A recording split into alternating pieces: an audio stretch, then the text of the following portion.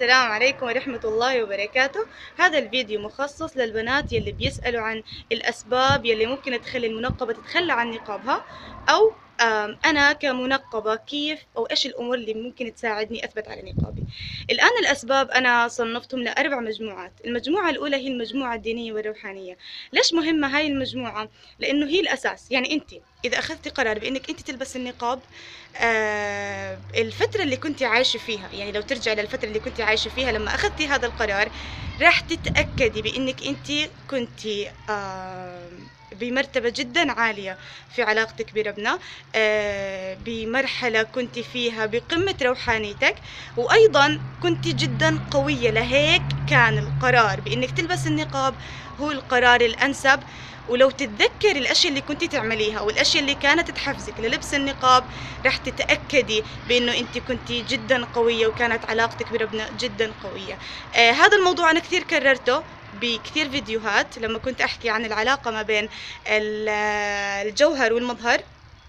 فكنت أحكي دائما إنه الإشي المنطقي بإنه أنت إذا كان جوهرك تمام إنه ينعكس هذا الإشي على آه، صورتك أو على مظهرك. مش شرط ما عم بحكي شرط إني أنا أحكم على الإنسان من مظهره هذا الإشي ابدا مرفوض ودائما كنت أكرره في فيديوهاتي لكن هذا الإشي الطبيعي والمنطقي. فانت إذا لاحظتي أي اختلال في آه، شكلك يعني اختلال قصدي بإنه آه، الشكل بقصد فيه النقاب يعني إذا حسيتي إنه بلشتي تشكي آه، بحاجتك للنقاب بلشتي تشكي بقناعتك بأهمية النقاب بلشتي تشكي بحبك للنقاب هذا الإشي لازم تراجعي فيه داخلك لازم ترجعي فيه للفترة يلي انت أخذتي فيها قرار النقاب؟ إيش الأشياء اللي كنت تعمليها؟ إيش العبادات اللي كنت تقومي فيها؟ إيش الأمور اللي كانت تحفزك وكانت تقويكي لحتى آه، أخذتي هذا القرار؟ وكنت صارمة فيه وكنت قوية فيه وتحديتي كل الناس فيه. مش غلط تجيبي ورقة وقلم وتكتبي فيه كل الأمور اللي كنت تعمليها. تكتبي فيه آه، حياتك كيف كانت. تكتبي فيه العبادات اللي كنت تقومي فيها وتقارنيها بوضعك الحالي. وتحاولي تجددي تحاولي تجددي علاقتك بربنا لأنه والله هذا هو يعني الحل الأصح بأنه أنت تعززي علاقتك بنقابك وتعززي حبك لنقابك.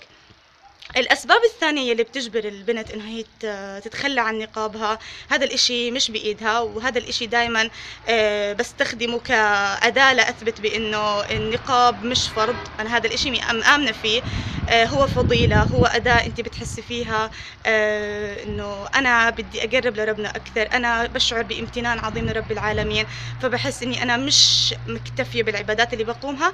لهيك أنا بدي آخذ قرار ال- النقاب إني أنا آه، ألتزم فيه ليكون طريق أو يكون وسيلة لإني أنا آه، أكون يعني أقرب لرب العالمين وارضيه الآن الأسباب الصحية متمثلة بشكل أساسي وأن هذا الإشي آه، بحكي من خلال تجربتي مع بنات كثير. ال- السبب اللي هو أو الإشي اللي ب- بتضرر ب- آه، بالبنات اللي بيلبسوا النقاب ال- الجهاز التنفسي. ليش؟ لأنه النقاب بيغطي هاي المنطقة اللي هي اللي بيغطي الأنف. فقليل من البنات ما عم بحكي إنه عدد كبير من البنات لا قليل من البنات اللي واجهتهم بشلحوا النقاب لأسباب صحية بسبب إنه آه، هم اوريدي عندهم آه، مثلا جيوب أو عندهم ضيق بالنفس فالنقاب ما كان آه، إشي منيح لإلهم أو ما ساعدهم.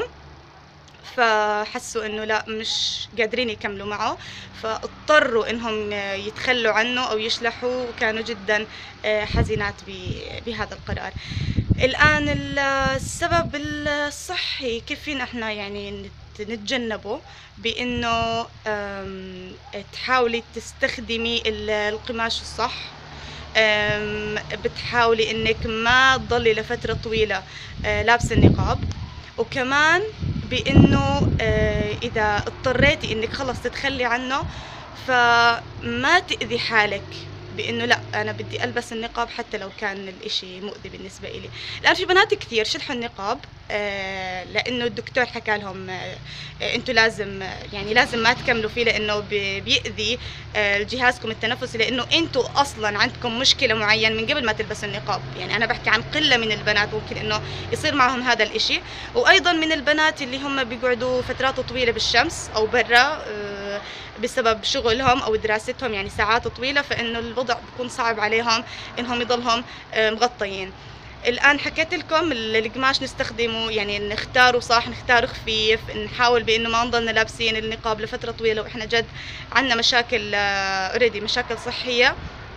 وإذا اضطريتي بإنه تتخلي عن نقابك أو إنه آه، الدكتور طلب منك هذا الإشي حماية لك مثل ما أنا حكيت الجملة وما كملت إنه كثير بنات اضطروا إنهم يشلحوا بسبب هاي المشاكل الصحية آه لكنه لسه في عندهم آه يعني أمل بإنهم يرجعوا يلبسوا وعلاقتهم لسه قوية بنقابهم وهسه هم بيتعالجوا من الإشي اللي اللي صار لهم أو الإشي اللي تضاعف عندهم وراح يرجعوا يلبسوا نقابهم. أنا بحكي عن قلة قليلة من البنات يعني أنا الحمد لله رب العالمين اللي سنتين لابسيته كثير بنات 12 سنة و13 سنة آه بالعكس يعني صحيا كان الإشي إيجابي بالنسبة لهم إنهم حماهم من كثير شغلات.